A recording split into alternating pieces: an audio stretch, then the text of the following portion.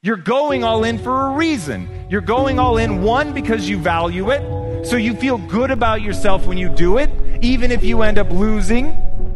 That you're judging yourself by did I fucking give it my all? Did I show up and play to the best of my ability? Did I leave it all out on the field? Because if you left it all out on the field and you lost, there's no shame in that. There's no shame in that.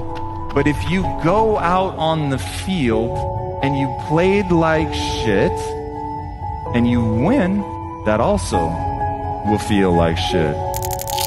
It's one of these like scary ironies that the very thing you're aiming at, you can't just get the thing.